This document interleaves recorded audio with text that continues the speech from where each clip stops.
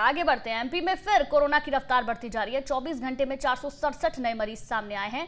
दो की मौत हो चुकी है। प्रदेश में संक्रमण से कुल मौत तीन हो चुकी है। एक्टिव मरीजों की संख्या तीन हो चुकी है। दो लाख छप्पन मरीज़ स्वस्थ हो चुके हैं। इंदौर में कोरोना से एक सौ तिहत्तर नए मरीज़ सामने आए हैं। भोपाल में 104 जबलपुर में 28 केस सामने आए हैं। तो एक बार फिर से कोरोना के मरीज़